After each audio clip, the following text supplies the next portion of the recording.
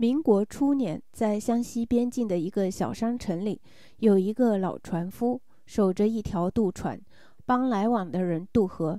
他与外孙女翠翠相依为命。十七年前，翠翠的母亲与一名驻屯军人未婚生子，后来二人双双殉情。老船夫不想翠翠重蹈覆辙，一心希望把翠翠托付给一个可靠的人。渡船人里的娶亲队伍。让翠翠充满新奇，同船女孩的银手镯让翠翠羡慕。茶洞城里的船总顺顺有两个儿子，大佬天宝和二老罗宋。天宝豁达豪放，不拘小节；罗宋眉清目秀，像个白面书生。他们同时爱上了翠翠。船总顺顺托媒人向老船夫给天宝说亲。老船夫跟翠翠商量这门亲事。翠翠没有任何表示，这让老船夫猜不明白外孙女的心思。唱歌是罗宋最擅长的事儿，天宝却不太会。但为爱情，天宝也就同意用月下唱情歌的方式让翠翠选择。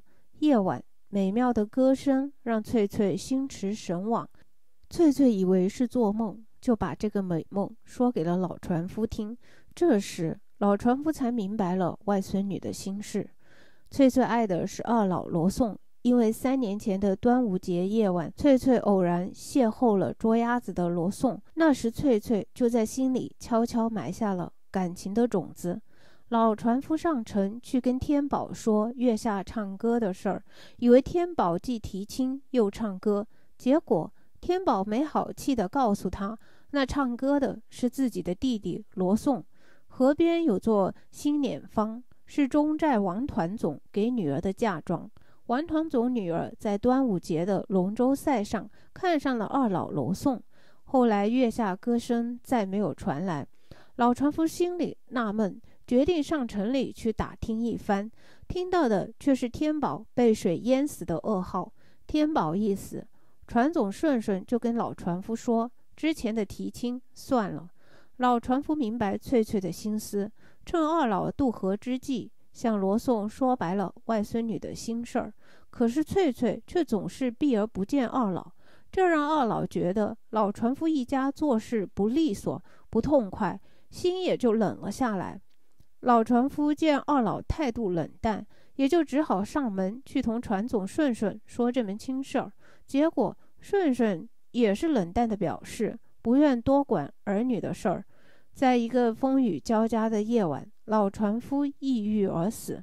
翠翠终于明白罗宋的歌唱、天宝的死、顺顺父子对老船夫的冷淡。中寨人用碾方诱惑罗宋，罗宋因为记着大哥的死，又得不到翠翠的理会，又被逼着接受那座碾方，而自己的心又还在渡船上，所以赌气走了。于是他守着渡船，等待心爱的人回来。到了冬天，那个在月下唱歌，使翠翠在睡梦里为歌声把灵魂轻轻扶起的年轻人，还不曾回到茶洞来。这个人也许永远不回来了，也许明天回来。沈从文先生提倡优美、健康、自然而又不背乎人性的人生形式。电影主要围绕翠翠的爱情故事。翠翠天真朴素、清澈透明，心怀憧憬。对于初恋，朦胧梦幻、隐约又动人心魄的感觉，她像其他少女怀春一样，有着青春萌动时的懵懵懂懂。老船夫尊重外孙女的个人选择，但外孙女在感情上内敛含蓄的性格，又让老船夫操心不已。如果是父母之命、媒妁之言，那么老船夫可以替翠翠做主，成全大佬天宝；如果是恋爱自由、个人选择，那么翠翠应该直面罗宋，表白自己的感情。可惜老船夫让翠翠做主，而翠翠似乎又没这个魄力来为自己做主。